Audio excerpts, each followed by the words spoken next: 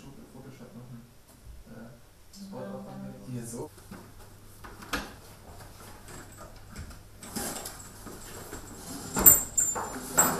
Uh, the main difference between Project Skyflash and everything that is existing up to